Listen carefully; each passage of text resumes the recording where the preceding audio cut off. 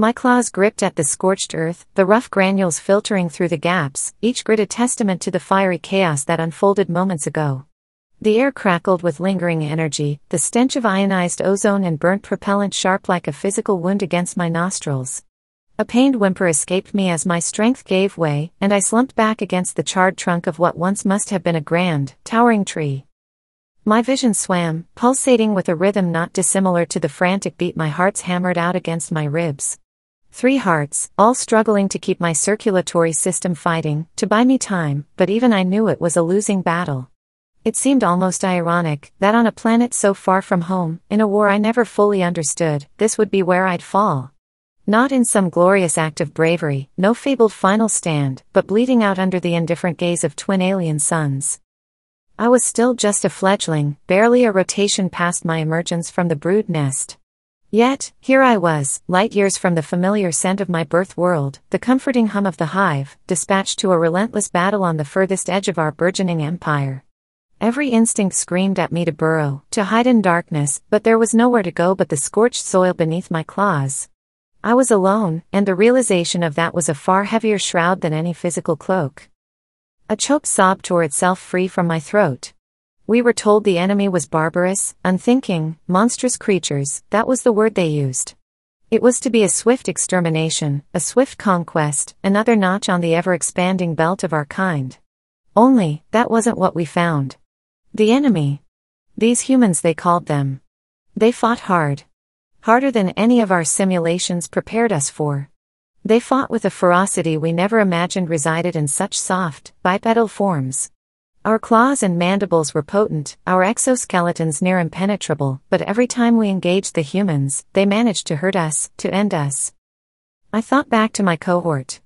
Kari, always at my flank, her iridescent shell gleaming even in the dim light of transit ships, now just a shattered ruin in the crater a few paces from my resting spot.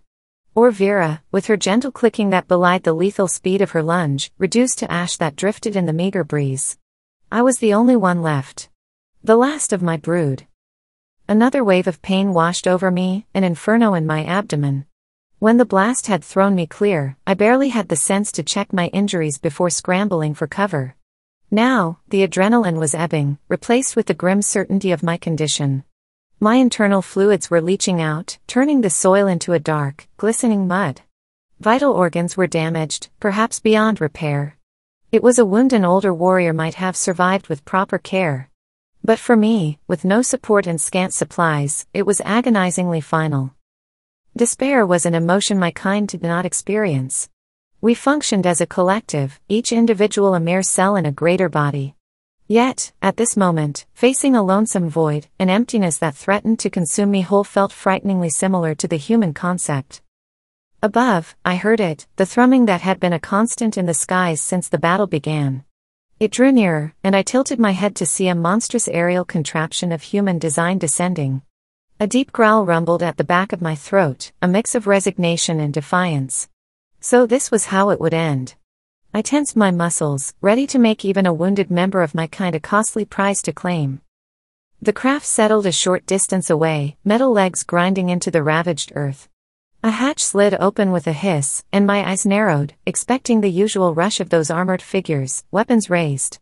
Instead, what emerged was different.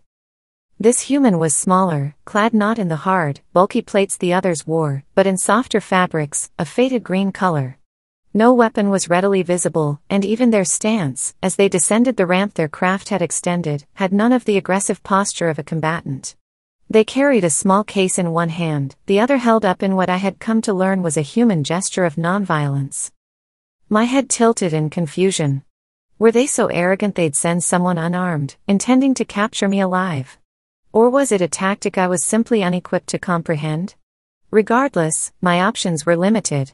I could lunge with my remaining strength, attempt a last desperate strike, or I could wait and see how this played out. It was not in me to simply curl up and accept my fate, but at the moment a fighting end seemed a distant hope. I would not make this easy for them. As the human grew closer, I could make out more detail. A female, if the softer contours of her body were any indication. Her skin was a smooth, light tone, and she was topped with a mess of short, dark hair, an unusual contrast to the almost uniform appearance of the warriors I'd faced. Her eyes, exposed in a way most of the humans I'd seen weren't, were wide and a peculiar shade of blue, like some of the atmospheric specimens collected on less hostile worlds. She stopped a short distance away, studying me, her gaze flicking between my trembling form and the viscous mess spreading around me. A grimace flickered across her face, followed by a sound I couldn't place, a soft clicking emerging from her mouth. Perhaps an expression of pity? Or maybe a sound of triumph meant to demoralize me, as predators might do when facing a wounded quarry.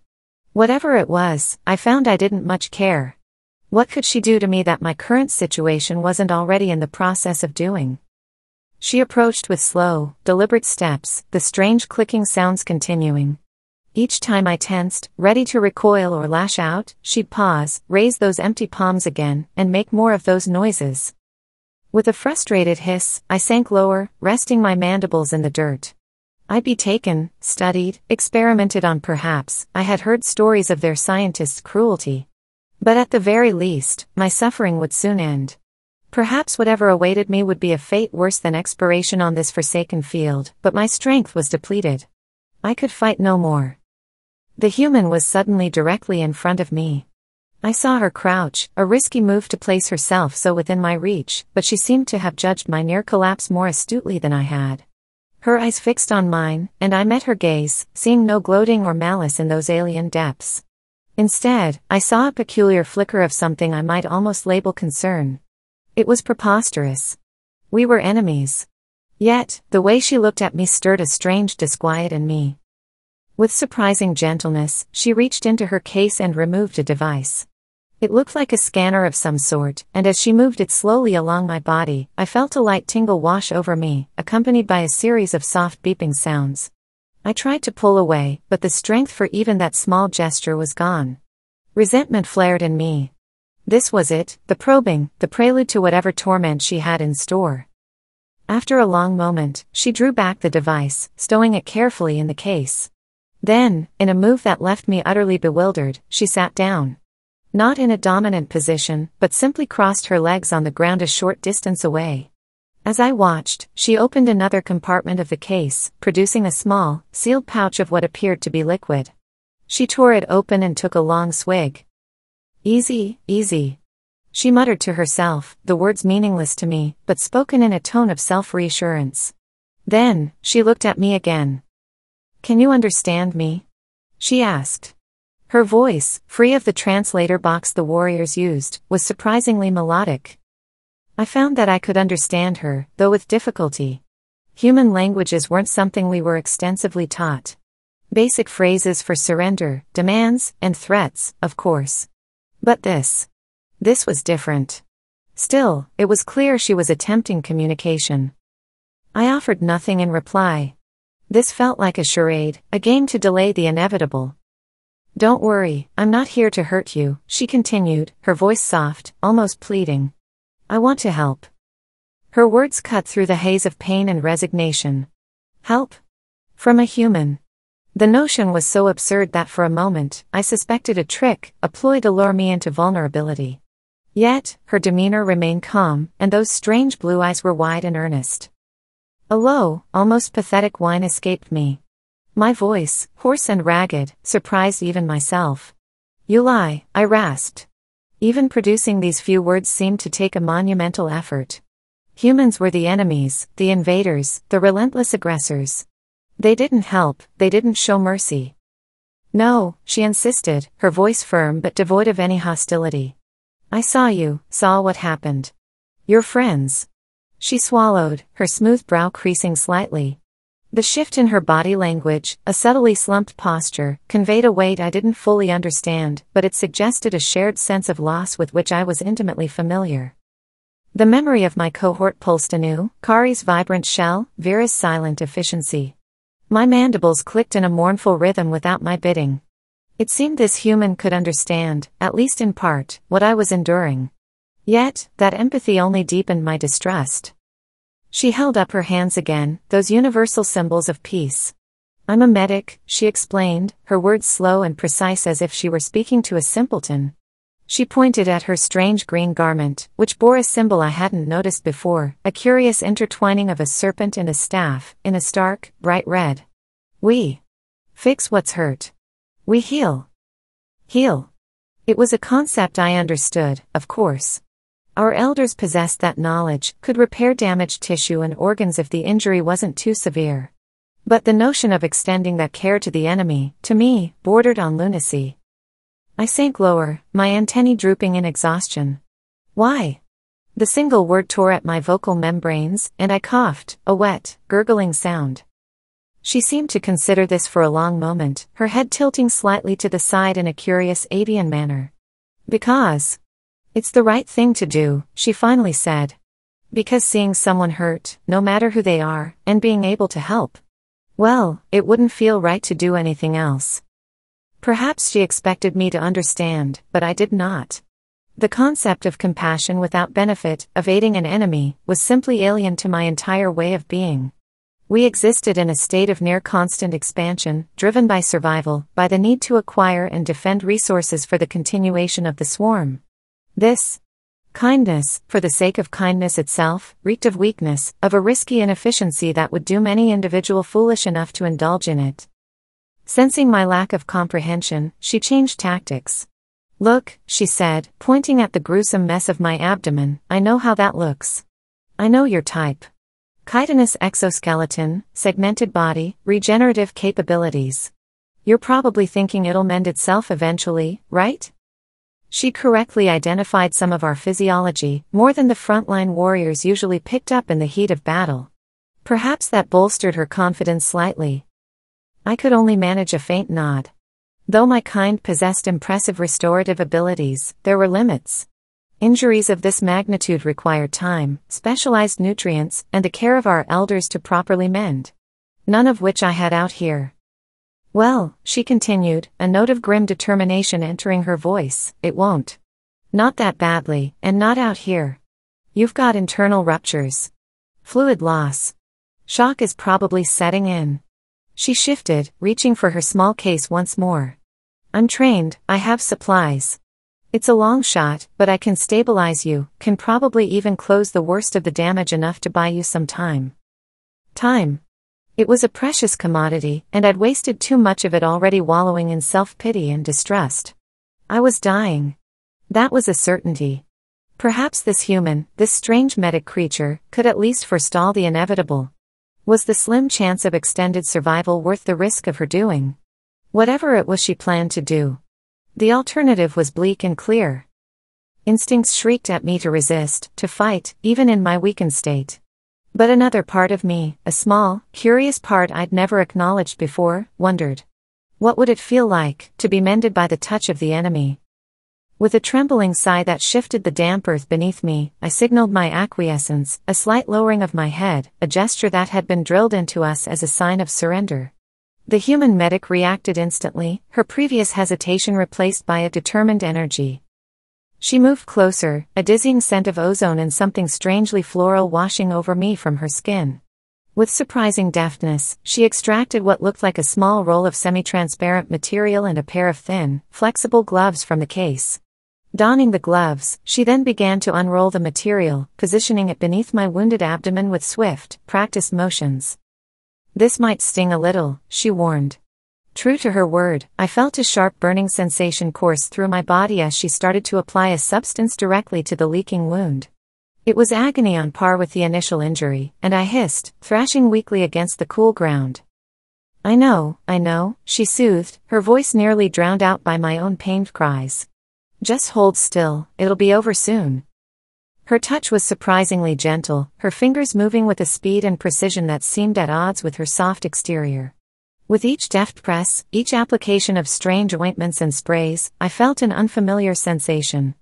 It wasn't the knitting of tissue, the regrowth of my natural armor that I was accustomed to, but rather a stabilizing coolness, a stemming of the tide of my life essence. When the initial burst of pain subsided, I lay panting, my entire form buzzing in protest. Yet, the ground beneath me no longer grew slick with my vital fluids. The leaking had slowed, then ceased entirely, it was a small victory, a tiny reprieve, yet it was undeniable. She continued working with quiet focus, weaving a strange, translucent dressing over the worst of the damage. It felt tight, binding, foreign upon my abused carapace. I watched as she retrieved more gadgets from her case, small, flashing devices that she attached directly to my flesh with cool gel. With each touch, each beep of her strange instruments, the disquiet warred with a reluctant spark of hope. When she was finally done, she sat back, surveying her handiwork with a critical eye. I couldn't read much on her face, a mixture of fatigue and guarded optimism. That should hold, she muttered, seemingly to herself. I managed to stop the worst of the internal bleeding. The rest. She trailed off, a slight frown marring her features. She offered me the pouch from which she'd drunk earlier. I had it warily. Was it poison? Some sort of final torment?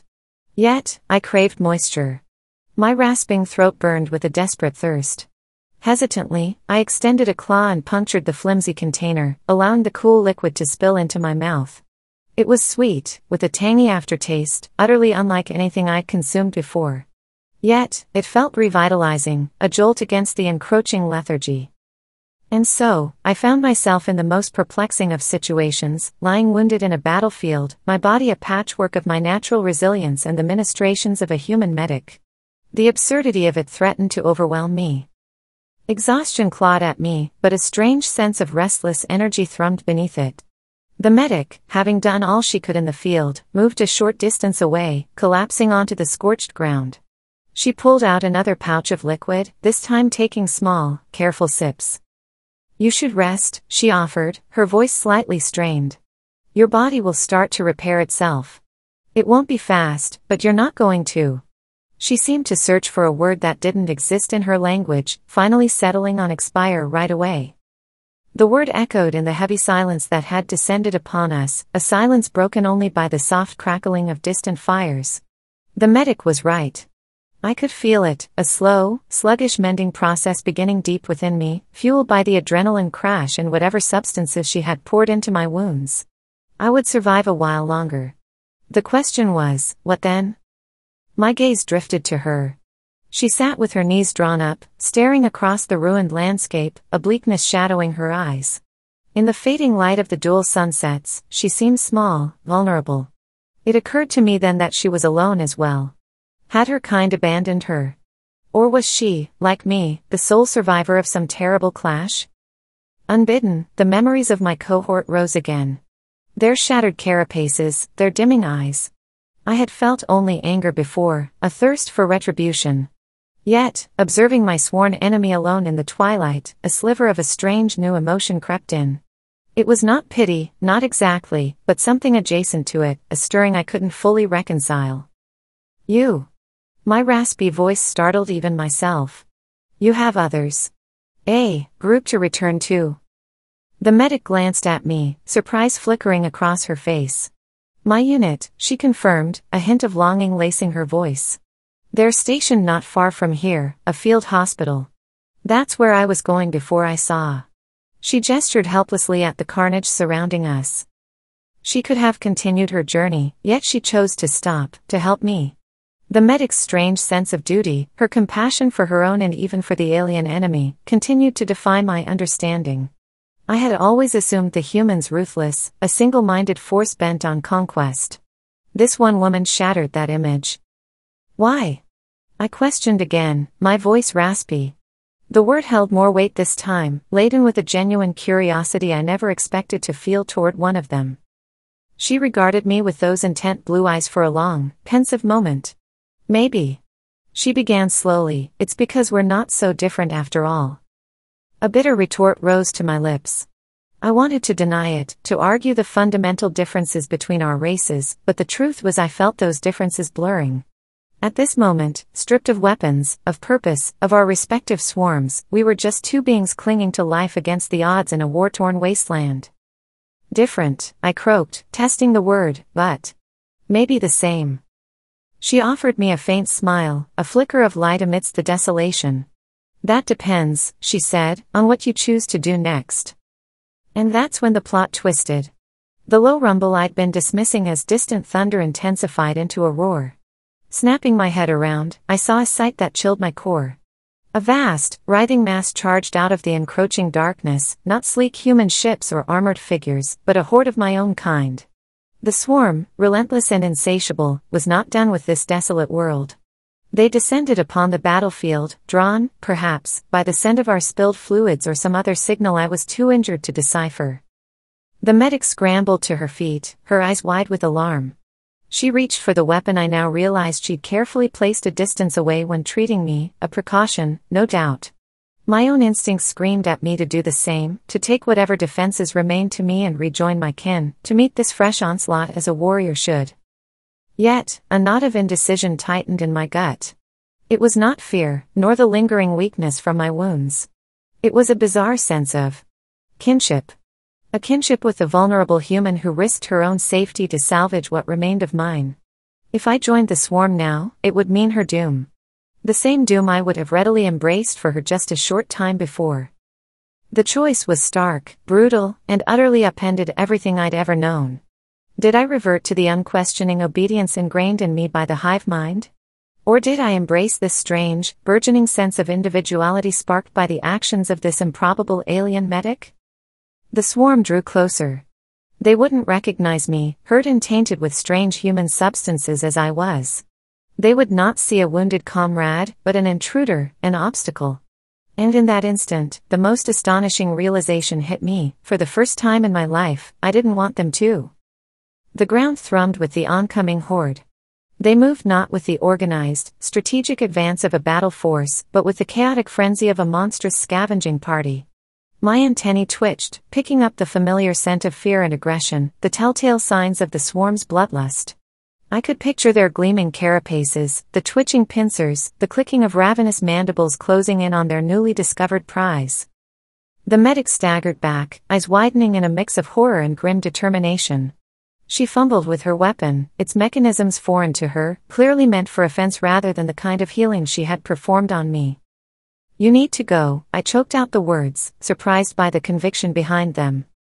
Her gaze locked with mine, searching for something, in order to follow, perhaps? I couldn't give her that. This was no battle where a commander could shout instructions, could strategize their way to victory. This was a choice that had to be hers, and hers alone. Listen, I continued, my words tumbling out with ragged urgency, your people, your field hospital. You can warn them. Tell them what's coming. A strangled sound escaped her, halfway between a laugh and a sob. Warn them. You think they don't know. You think this is news to us. She gestured wildly at the ruined battlefield, the remnants of her comrades, no doubt. We're losing. This whole damn planet, it's. She cut herself off, but the admission hung in the air, heavy and undeniable. My kind, with our superior numbers, our relentless drive, were overwhelming the human forces. If a lone medic out here on a mercy mission was this aware, then the situation was dire indeed. Realization dawned, not as a strategic assessment, but as a gut wrenching wave of horror. I had been so lost in my own personal struggle for survival that I'd completely ignored the larger context. I wasn't the only one clinging to life by a thread on this desolate battlefield. I was just the one who'd been given a sliver of a chance by the enemy itself. The swarm was almost upon us. I could distinguish individual forms in the writhing mass now, could almost feel the phantom pain of their claws tearing into my flesh as they mistakenly identified me as another human meal. The medic looked at me, a desperate, hunted expression on her face. In that moment, I saw the same struggle reflected back at me. She was a healer, meant to preserve life, yet circumstance thrust a weapon into her hands. Would she fight? Would she flee? Or would she do something far more unexpected, far more human? Don't worry about me, I rasped, my voice barely above a whisper. Go. It was a plea driven not by self preservation, but by a strange, twisted loyalty I barely recognized in myself. It was also a gamble, if my kind scented another human, perhaps their bloodlust would temporarily outweigh their confusion about my state. The medic might, just might, have a chance to slip away amidst the chaos. She hesitated, a flicker of doubt warring with a determined gleam in her eye. Then, in a move so swift it bordered on instinctual, she did the unthinkable. She tossed her weapon aside. It landed with a dull thud a few feet away from us. They won't hurt one of their own, she said, her voice surprisingly steady. Maybe they'll even try to fix you. Her face twisted in a pained smile. Seems silly, after all of this, but maybe there's hope. If your kind can see me. See this. Well, that's a weapon of a different sort, isn't it? I could only stare at her in stunned silence. She was using my own physiology, my wounds bound by her hand, as a shield. Risking her life on the slimmest chance that the swarm might recognize their own handiwork in me, and perhaps, just perhaps, a crack of doubt might flicker through the mindless hunger. The first of the oncoming horde lunged at her, its chitinous claws outstretched, its mandibles snapping. She screamed, a defiant echo against the monstrous chittering. And then they were upon her, a seething mass. And I. I did nothing. Unable to help, unable to even turn away. My newly stabilized body throbbed in protest as I strained against imaginary bindings. Some primal instinct demanded I fight by her side, that we meet our doom together. Yet, that same strange loyalty, born in a moment of shared pain under alien suns, kept me rooted to the spot. A wave of nausea washed over me. I had always assumed the swarm was implacable, that once we picked a target, we did not stop until it was eradicated. Yet, they hesitated.